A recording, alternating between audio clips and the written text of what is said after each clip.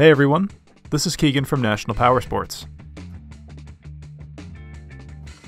This 2010 BMW F650 GS with 12,634 miles passes New Hampshire State inspection and runs well.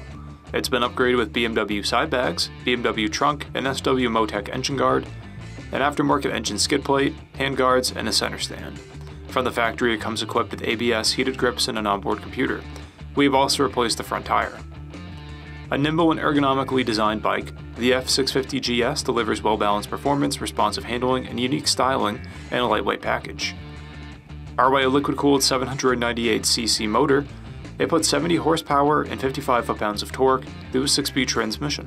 It has a 32.3-inch seat height and weighs in at 436 pounds. To see everything we know about this vehicle, including full mechanical and cosmetic condition reports, the service repair order, high resolution photos, and more, please review the listing on our website. We have also purchased the CycleCheck's Vehicle History Report. You can view this report by clicking the link on the right side of the video.